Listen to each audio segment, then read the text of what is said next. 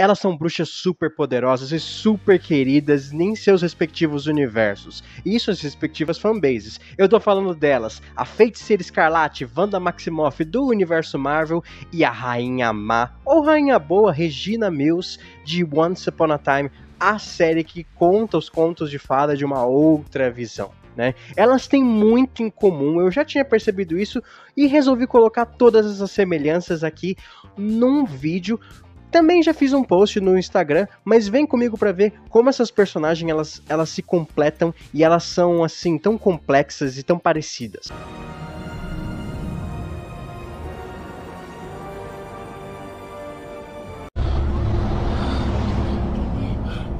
Desculpem o atraso.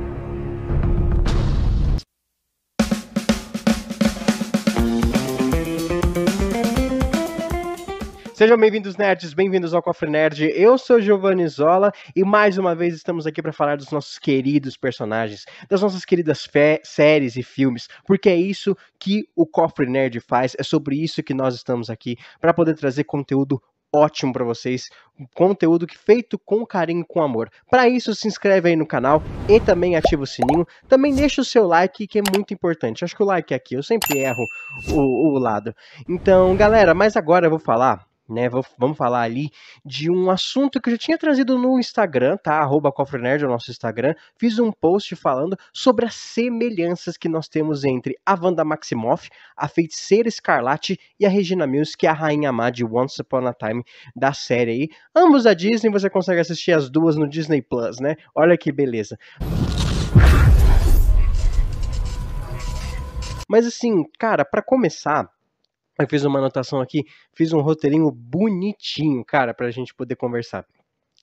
Para começar, na quando a gente descobre que a Wanda é uma bruxa em WandaVision, né?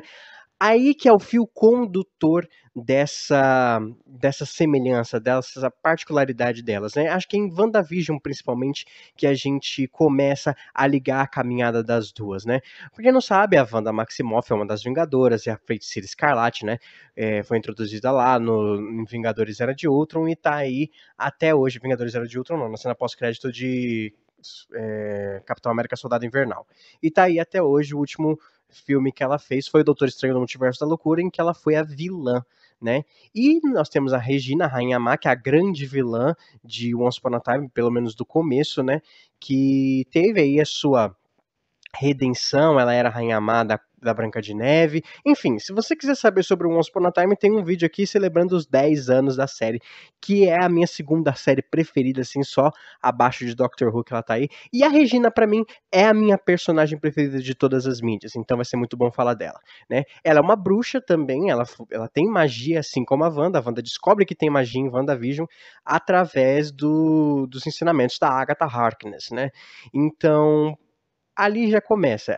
E elas, antes de, de, se descobrirem bruxas, a Wanda e a Regina eram pessoas boas, eram pessoas inocentes. A gente viu a origem ali da Wanda em WandaVision, lá em Sokovia. A gente viu a origem da Regina, como ela era pura, né? Antes de, de acontecer o que aconteceu, que eu vou falar mais pra frente, né? Antes de serem corrompidas, assim, pelas trevas, elas têm magia e elas tinham uma vida muito boa até que tragédias aconteceram, né? E essas tragédias é são perder o primeiro, seu primeiro amor, cada uma perdeu o seu primeiro amor, né? A Regina perdeu o, o Daniel, né? O, o, o rapaz que cuidava dos cavalos da casa dela, onde quando a mãe dela, a Cora, matou, é, matou ele, porque a Branca de Neve contou para Cora, para a mãe da Regina, que elas, que ela ia se casar, né? Que a Regina ia fugir para se casar e a Cora queria que a Regina casasse com o rei, que é o pai da Branca de Neve. Mas a Branca de Neve não fez isso por maldade, ela era só uma criança, ela não sabia que a repercussão que isso ia ter, né? Então a Regina perdeu seu amor ali e também mais tarde perdeu ele de novo quando ele foi trazido de volta à vida, mas virou meio que um monstro, ela teve que matá-lo de vez lá na segunda temporada. E cara, tem a semelhança porque a Wanda também perdeu seu primeiro amor, né? A primeira pessoa com que ela se conectou depois da morte do Pietro que é o Visão, né? A gente viu aquele amor tão, tão grande sendo construído ali em Guerra Civil e depois indo para Guerra Infinita, onde ela tem que sacrificar o Visão para destruir a Joia da Mente, né? Para que o Thanos não pegasse a Joia da Mente. Ela teve que fazer isso, só ela tinha o poder para destruir a Joia da Mente e automaticamente destruir o Visão também. E, e ao fazer isso, a gente acha que ela conseguiu impedir o Thanos, mas ele usa a Joia do Tempo faz tudo voltar e pega a joia da mente do mesmo jeito. Então ela sacrificou seu grande amor pra nada. Ela fala isso em Multiverso da Loucura. Olha o quanto essa mulher sofreu também, né? Porra, a Regina e a Wanda estão aí disputando quem sofreu mais. Mas tadinhas, né, mano? E foram duas vezes assim como a Regina. Ela perdeu o Visão duas vezes. E depois perdeu mais uma em WandaVision quando ela teve que dizer tchau àquele Visão que ela criou ali em Westview, né?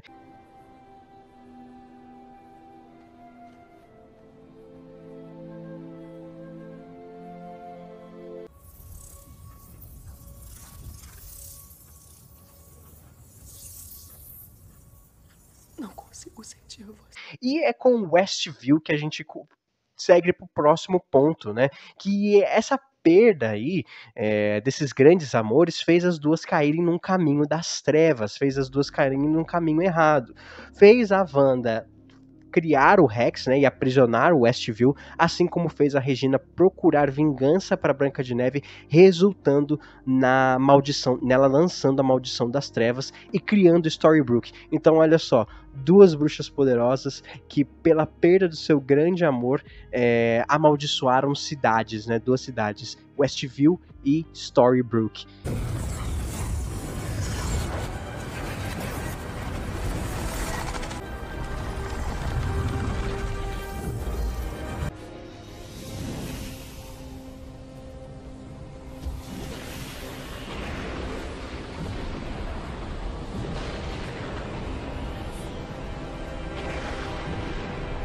Cara, que ó que paralelo, parece até que a Marvel assistiu Once Upon a Time para fazer isso, né? Para fazer WandaVision. E também por causa disso, a gente tem a manipulação dos mentores, né? Aquelas duas mentes cruéis e malignas por trás das, da, das, da Wanda e da Rainha Má. No caso da Wanda foi a Agatha Harkness, ela manipulou a Wanda por motivos diferentes do Rumpelstiltskin, que vai ser o mentor da, da Regina, mas dois mentores cruéis que manipularam elas ali. O Rumpel para que a Regina lançasse a Maldição das Trevas, porque eles tinham seus próprios interesses, e a Wanda porque a Agatha Harkness queria saber como é que a Wanda fez aquilo, né? Fez aquele poderio todo ali. E aí ela descobre e fala pra Wanda que ela é a feiticeira escarlate, né? Essa grande entidade poderosa. Que hoje, se você quer saber qual vai ser o futuro da feiticeira escarlate depois do multiverso da loucura, vou deixar o card aí com o vídeo que eu fiz certinho para vocês, tá? E aí, com esse, com esse, por causa desses mentores, assim, elas tiveram sua magia corrompida pelas trevas, né? O Rumpel ensinando magia das trevas bruta para Regina é, desde o começo, né? E assim como ali acabar arrancando o coração das pessoas, transformando ela na rainha má que a gente conheceu, e a Wanda por, por meio do Darkhold, que ela pega da Agatha Harkness, né? Então Darkhold corrompe a magia da Wanda por inteiro, a magia do caos dela por inteiro, certo? E assim elas fizeram coisas horríveis para conseguir seus filhos, né? Regina para conseguir o Henry de volta ali em, na segunda temporada, principalmente de Once Upon a Time, em que a Emma pega o Henry, porque também é filho dela, né? E a, o Henry é filho adotivo da Regina e filho biológico da Emma. Então a, a, a Regina ela faz cara, ela planeja várias coisas, inclusive com sua mãe Cora, para conseguir o Henry de volta, para ter ele como só seu filho, né? Só ela será única na vida dele. Entre elas é usar a adaga do Senhor das Trevas para controlar o, o Rumple e fazer ele matar, né, o, a Branca de Neve, o Príncipe Encantado e a Emma, tá? Tudo bem que ela não conseguiu, nenhuma dessas ela conseguiu com efetividade, entendeu? Ainda bem. Mas, cara, é muito sombrio ela ia usar o Senhor das Trevas para acabar com a família que o Henry tinha, né? Para que só ela sobrasse. Nisso também a gente tem a tentativa de envenenar a Emma na primeira temporada, né? Não só para impedir que a Emma quebrasse a maldição das trevas, mas também para impedir que ela ficasse na vida do Harry. E o tiro saiu pela culatra, né? Porque quem foi envenenado foi o Harry. Se não fosse a Emma, o Harry teria, mor teria morrido. E por último, também quase destruiu Storybrooke usando aquele diamante no final da segunda temporada, que era meio que um dispositivo de autodestruição da cidade. Ela ia matar todas as pessoas da cidade. É quase um, um, genocídio se você pensar que todas aquelas pessoas ali eram a população de, da Floresta Encantada. Então a Floresta Encantada ia ser tipo, ia ter um genocídio ali. Mas a. E tudo isso para que ela ficasse sozinha com o Harry graças, ainda bem que não deu certo, né? E a Wanda também cometeu vários atos horríveis, principalmente em Doutor Estranho no Multiverso da Loucura, né? Isso para conseguir os filhos, então não vou colocar ali Westview, é, porque não foram exatamente com o intuito de conseguir o Billy e o Tommy de volta, né? Depois de, de WandaVision, ela abre mão desses filhos, só que o Darkhold mostra, né, é, conhecimento e poder que ela precisa para ter os filhos de volta. Ela consegue ali uma brecha, né, uma loophole. Talvez até ela tenha feito o caminho do Rumpelstiltskin ali, que é usar o Darkhold para pegar os poderes da América Chaves e ela ia acabar matando a América Chaves em Multiverso da Loucura, né? Entre outros também ela assassinou todos os Illuminati, acho que tirando o Barão Mordo, e também um monte de magos em Camartage. Ela quase destruiu o Camartage inteiro para conseguir os poderes da América Chaves, né? E ter os seus filhos de volta assim como possuir uma variante sua, né? Ela possui uma outra Wanda que tem os seus filhos e ela ia deixar esses meninos sem a, a mãe deles, entendeu? Ela ia, para começar, ela ia tirar é, o que ela estava buscando. Ela ia tirar de outra Wanda o que ela estava buscando, né? Que era o amor de seus filhos. Então, na, naquele momento, a Wanda ela estava completamente corrompida pelas trevas do Darkhold. Então, ela não via o monstro que se tornou, né? E assim, quando ela se enxerga, né, que através dos seus filhos, dos filhos, essas duas, essas duas personagens, elas conseguem perceber que elas viraram um monstro e elas conseguem começar o caminho da sua redenção, né? O Henry é o motivo da Regina ter mudado tanto, dela ter virado essa heroína no final de Once Upon a Time, que, tipo, a redenção da Regina é maravilhosa, é incrível, né?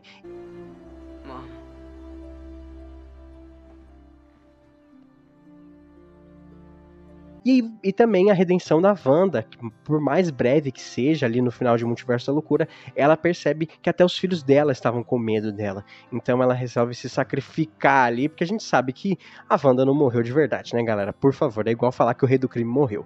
Mas aí tem uma diferença, né? Você fala, nossa, mas a redenção da Wanda foi muito rápida. Gente, aí a gente tem a diferença entre série e filme. Porra, a Wanda teve poucos minutos no final do filme para se redimir ali, para derrubar o, o é, Undagor, o templo de Undagor, enquanto a Regina teve, acho que umas quatro temporadas, se não contar cinco com a segunda, né? Que ela começa a querer mudar na segunda. Ela teve cinco temporadas para mudar ali, minha gente. Cinco grandes temporadas. Ah, na sétima ela é a grande heroína e é coroada como uma rainha boa no final da série toda, né? Então a gente tem ali, é claro que a Wanda vai ter mais tempo para se redimir. Eu acho que essa redenção da Wanda vai ser muito maior, ela ainda vai estar tá buscando é, pagar pelos erros que cometeu, fazer mais bem, né? Fazer um, um, um bem maior para redimir todo aquele mal, toda aquela chacina que ela fez na Terra 838, entendeu? E aí talvez esses futuros projetos que estão rumorizando aí para Feiticeiro Escarlate sejam isso, seja sua caminhada de redenção em busca de se tornar uma grande heroína assim como foi e assim como a Regina é, né? Se você é fã de Once Upon a Time, fã da Marvel e gostou desse paralelo, dessas personagens incríveis, super bem feitas, bem desenhadas, sabe, bem bem construídas, entendeu? Quando a, gente, quando a Marvel consegue quer consegue fazer uma personagem bem desenhada e Regina também a personagem melhor feita em, em Once Upon a Time.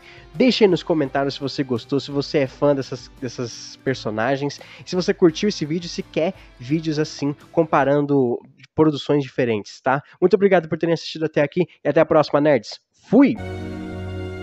The Queen is dead. Long live The evil.